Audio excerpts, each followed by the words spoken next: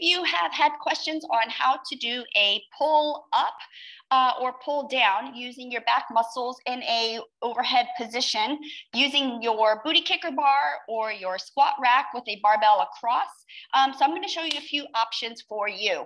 So I'm intentionally going to face away, but one option, setting your bar at a certain height where you can have your hands wide, think 10 and 2, uh, head right underneath of the bar, hips extended back, so not tucked under in a little ball, and then I'm gonna have my knees bent and pretty wide. I'm gonna use my heels, hamstrings to help assist in pulling up, pulling elbows in by side, and then using my hamstrings to help me focus on using my lats to come down.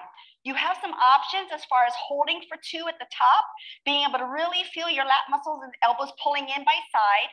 And then every time that my butt comes down, sometimes I like to do a little hand release just to reset my grip, just to give my fingers and my wrists a little bit of a break, allow me to reconnect with the lats and make sure that I'm not cheating too much and feeling it just in the hamstrings because you want to feel it in the back.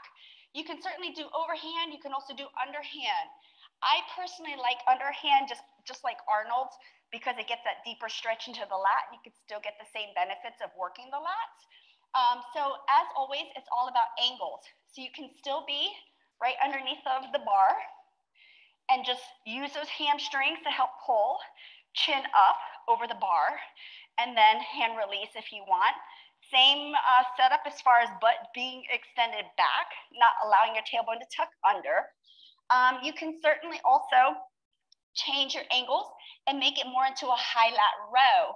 So think of a deadlift row where you're standing and hinged and pulling. You can always walk your feet further forward my head is now not under the bar, but I'm slightly back more. And I can still pull myself up. But notice now how my hips do not touch the ground. But now I'm doing more of an inverted row here to here. You can always make this into a rear delt row or just be a little bit more upright and do a rear delt row here using your bar.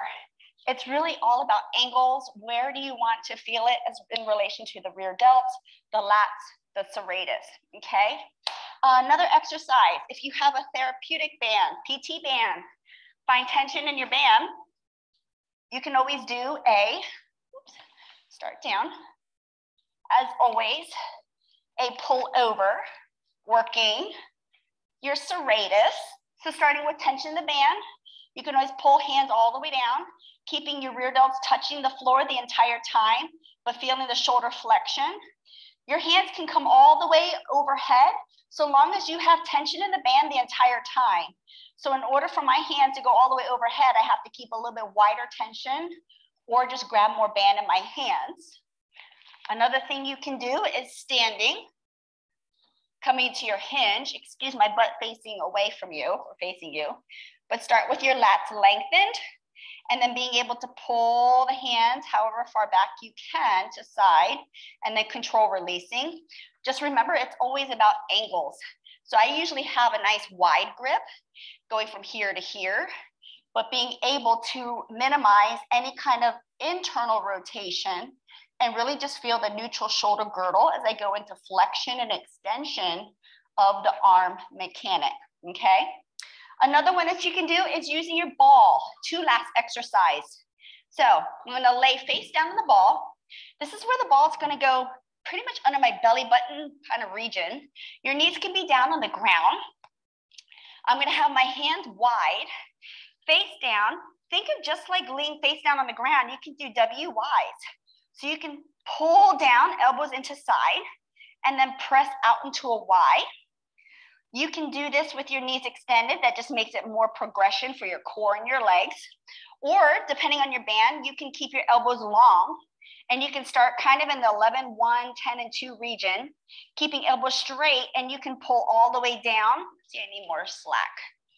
Hands are wide, and you can pull hands all the way down, pinky to thigh, and then circle around. There's 9 and 3, 10 and 2, 11 and 1. So kind of mimicking your snow angel mechanics, feeling how the lats are lengthened as hands are overhead. We feel the depression in the scapula, hands pulling down by sides, but the entire time I'm maintaining a relative neutral shoulder girdle. So not too heavily internally rotated, not heavily externally retracted the entire time, just really kind of feeling the elevation, the depression, the natural mechanics of the shoulders as it should move and be overhead and down by side. Uh, so hopefully some of those tips give you some tools to the toolbox when we work out, just knowing how to further your game and uh, minimize any shoulder issues. Let me know if you have any questions and I hope this helps.